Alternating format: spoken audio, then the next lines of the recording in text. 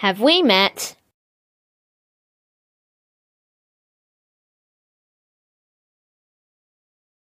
Nah, of course we haven't.